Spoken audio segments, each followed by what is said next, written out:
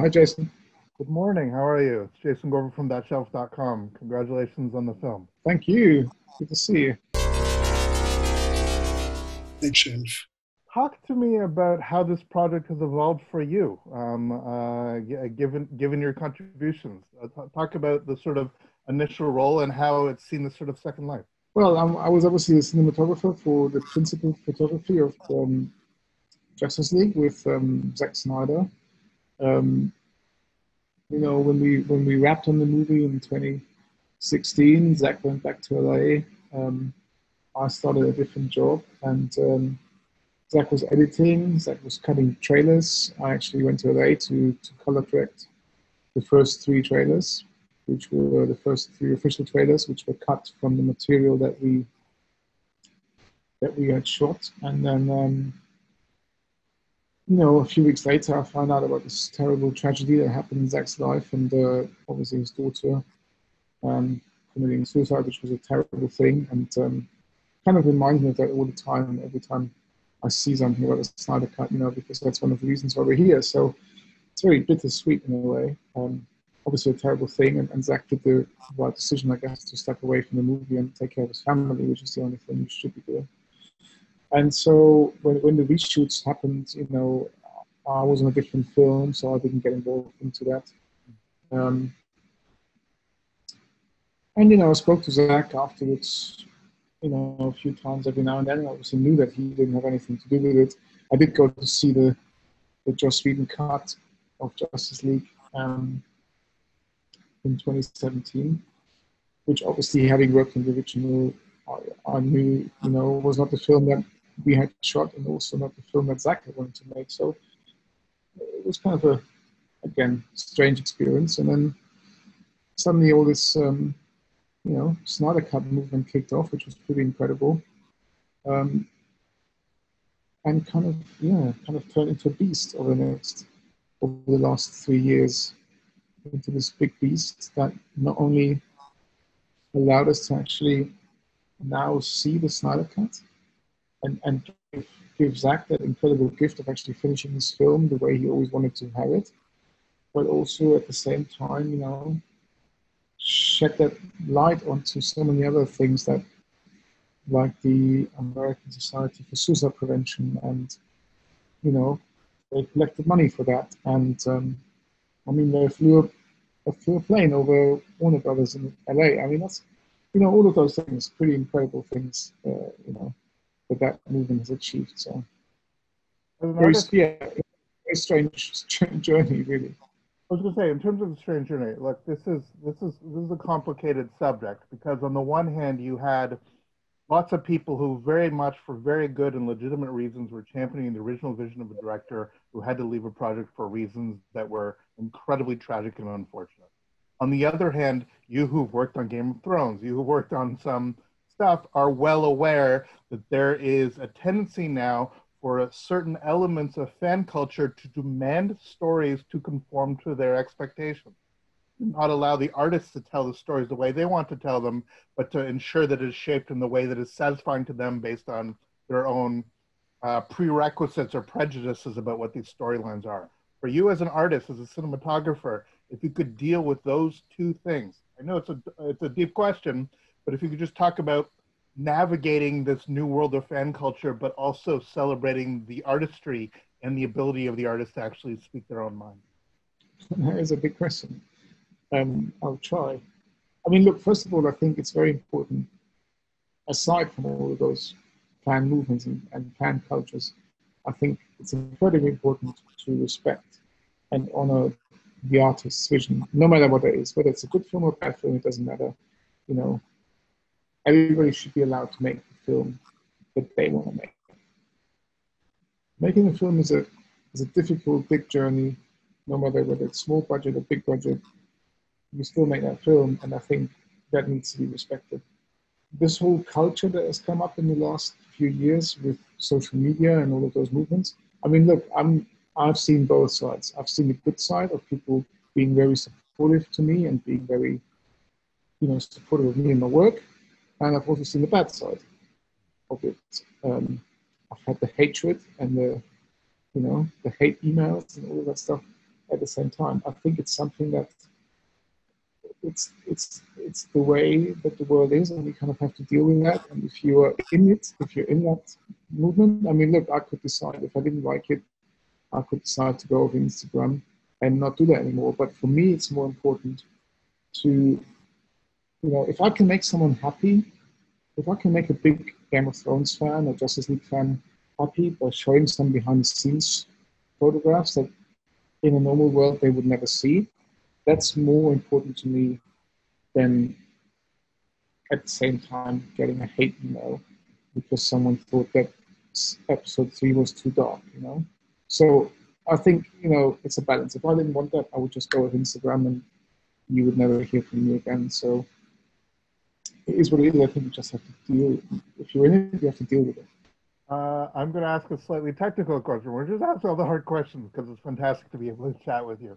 As somebody that has seen, for example, this film at home because of COVID, and I've seen uh, the other works that you've done, uh, epic works that are cinematic, like Game of Thrones.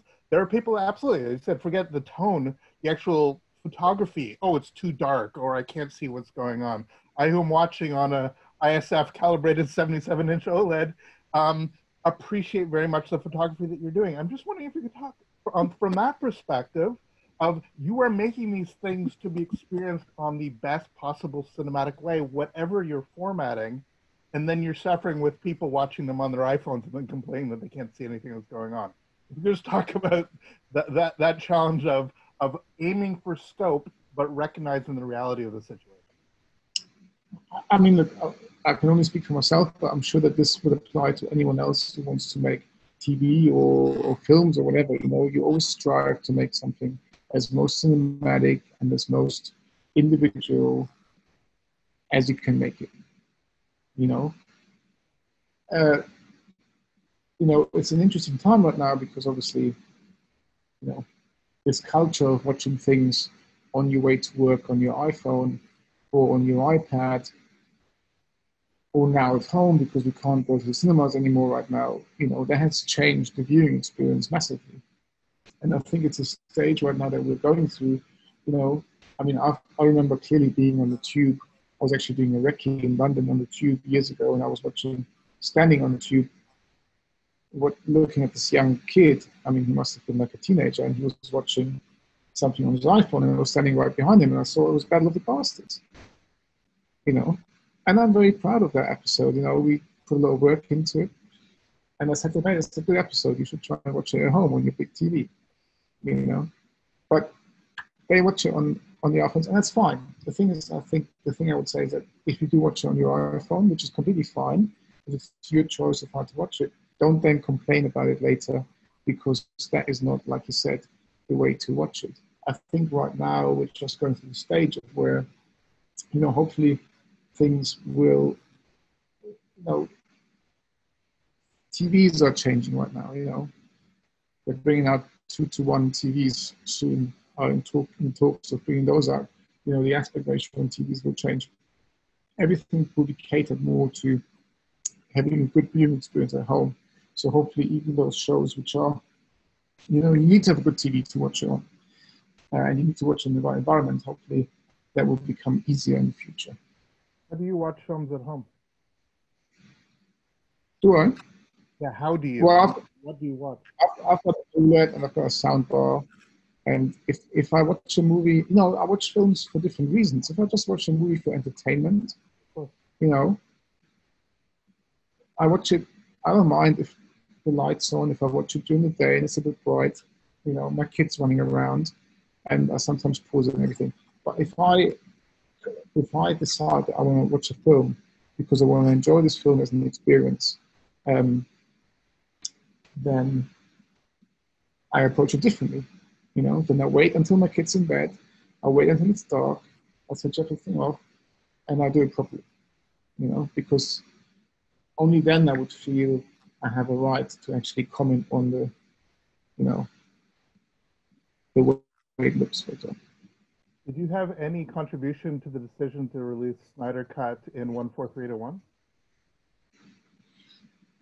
I don't, unfortunately. I'd love to have, I would love to have had that idea. I think it's great. I remember uh, Zach telling me about it on our very first meeting, saying that he would love to um, show this on four, uh, in 4x3, but there's been kind of resistance, obviously, as well.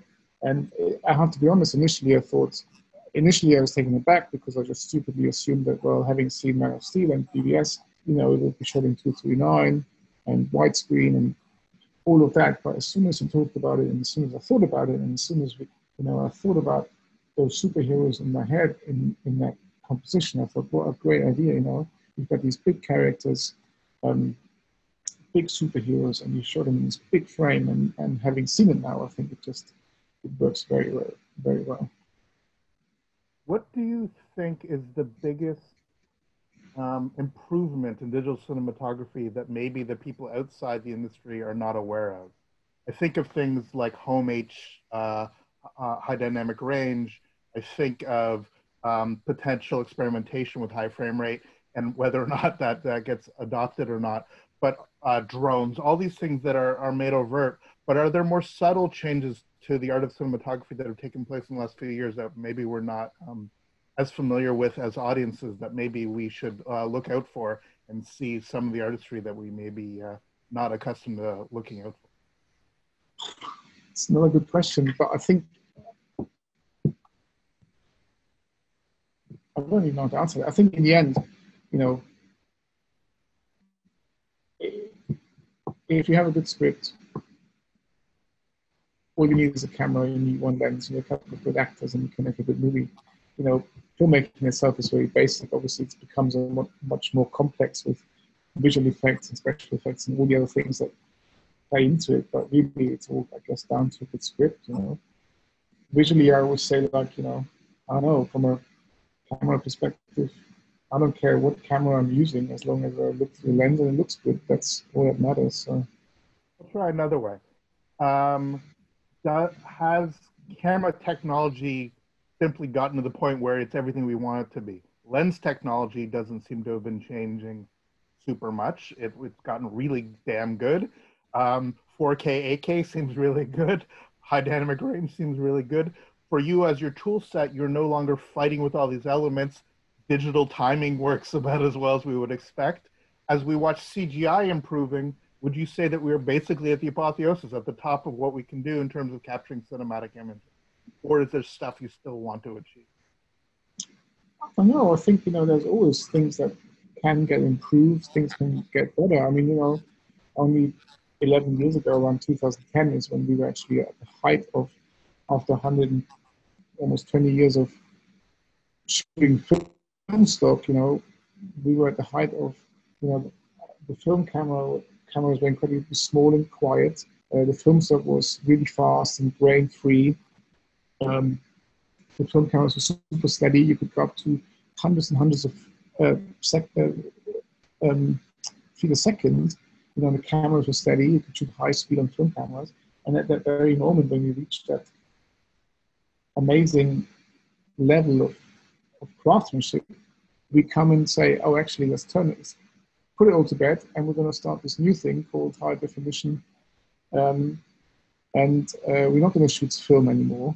And, you know, for years we were in this sort of gray area shooting with a, I remember my first job after shooting a job on 16 mm or 35, shooting on a Cine Alta with a Pro 35 adapter um, that constantly broke. The cameras were absolutely humongous. It was, you know, for, for three, four years until the Alexa came out, it was a complete nightmare. So we, you know, I think as humans, we tend to do that. We tend to go to the, build it up to the best we can be. And then as soon as we get there without being able to enjoy it, we go to somewhere else and start again from the beginning. So obviously technology evolves very fast these days and, and what's happened in the purely just the digital camera world is incredible. I mean, if you look at the you know, Alexa, Alexa 65, the Sony Venice, there's many cameras out there which achieve incredible images. I think the most important thing is that rather than striving for something,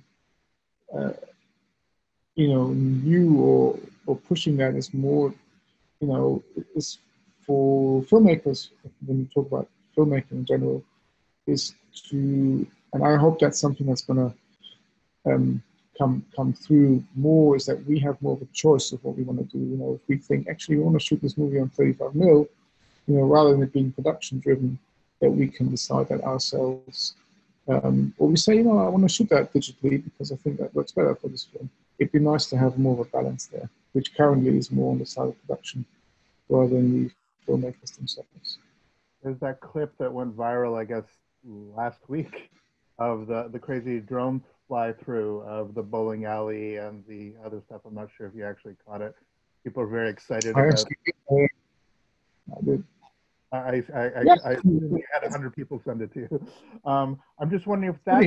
It's really really to watch. I'm not sure how it's gonna, you know, it's not gonna make any film any better.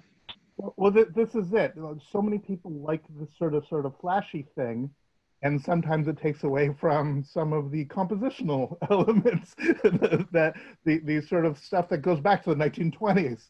Um, I'm just wondering if you could talk about the sort of, in, in, especially in a superhero film like this, of going for the epic and going for the big showy moment, but also going for the more quiet moment, uh, going for the thing that actually works for the character as opposed to the spectacle of it and the challenges of, of getting that on screen.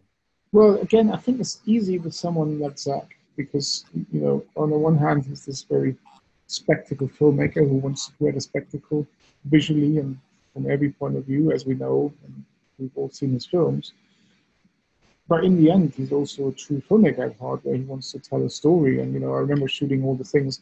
Uh, the one character I didn't know much about was Cyborg, and I remember shooting all of these scenes with Cyborg and his mom and his sort of background story. And you know, Zack tells it in his very Zack Snyder kind of vision, but you know, that was very important to him to tell that, to tell the emotional side of the stories just as much as all the spectacles of fighting or action sequences. So, from when you're on set on a production like that, how do you stay focused? How do you avoid being overwhelmed by the sheer magnitude of a production and the expectations of it and all those elements? Is it simply experience, or there's specific coping mechanisms you have to ensure that when you're lighting this and and and actually shooting it, that you're getting what needs to be got?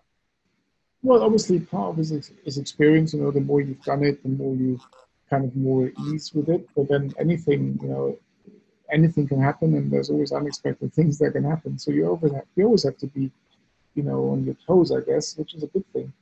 Um, but no, I think I've just been lucky to be working with so many lovely people, you know, like Zach or like Miguel Sapochnik, who I did all the Game of Thrones with, you know. Um, you know, that there are people who who support your vision, who collaborate with you, who you know, who understand you, you know, and so all of that makes it a lot easier, I think. What was the first film you saw that made you think you could do this? What was the first film that made you fall in love with cinematography, but also to give you the chutzpah to say, I can do that? Well, I'm still not sure whether I can do it. I still, you know, you always doubt, you always doubt yourself. Um, God, there's too many, you know, there's too many films. I mean, I've always loved films as a kid, and so I was watching tons and tons of films, and it was ranging from, you know, from films like Indiana Jones to obviously Star Wars to classics like Jaws and Lawrence of Arabia and The Life of Veronica. It was it was a complete mishmash of auteur films to Hollywood blockbusters to you know anything. I, I just love I just love I've always loved cinema as a way of not escaping but just as a way of creating another reality and, and, and being immersed in that in that other reality for two hours, three hours, ten episodes, whatever. You know, I've always loved that, and, and I've always loved visuals and photography. And as soon as I realized that there's a actual job to be a cinematographer, that was it for me. And when it comes to films like this, is there something specific you take away from? Are you mildly fanboy, but is there something from the set that you might have taken home and put on your shelf? I wish I had. I wish I had something from the set. um, but no, I, don't- I actually I didn't I didn't I didn't I don't have anything from this one apart from really good memories. That's all. But Yeah, that's but- also that's also most important thing. Do you have anything that you've collected from any of your adventures on some of these uh, fantasy or science fiction or comic book films? Well, I've got a few things from Game of Thrones. Yeah, I've got a few things. I've got a wolf head, a wooden wolf head hanging in my entrance next to the door. Uh, and posters. I've got a lot of the, you know, like the, you know, we do a lot of um, like artwork for how something will look. So I, I always collect those because I think that's nice. When you are a cinematographer on a film like this, you're obviously integrating with CGI. Um, if you could talk about how that has shifted and how that has integrated of ensuring that the look and feel on set is done all the way through timing and all, all those elements so that you get a fully integrated film, especially in something like this where there's other people involved in actually shooting the film. Yeah, that can that, that can be a tricky process sometimes, but you know, I'm someone, and I'm sure many other DPs are the same. You know, even after I leave a job, I would continuously speak to the editors or the visual effects supervisors, and, and they would send me updates of what they're doing. We would continuously talk about what it's going to be like. And, and it was the same on this film. You know, I've been speaking to um, John Des Jardin, our visual effects supervisor, all the way through over the last two years um, to, you know, just to see how it's going, but also to ensure that everything is going all right in the way we've always spoken about it. And, and really the main work we do beforehand and while you're shooting, because it's all about collaboration and figuring out how you want to do it and what you want to do. And, and I've always been very lucky with my visual effects teams in the in the in the sense that we've always gotten along very well and we've both understood each other's needs and desires. And so I think the more you're on that same wavelength, the easier the whole process gets, and the closer to what it should be. Thank you so so much. Congratulations. It's been a crazy journey, but I really appreciate you taking the time to chat about it. yeah, no, that was good. Appreciate that.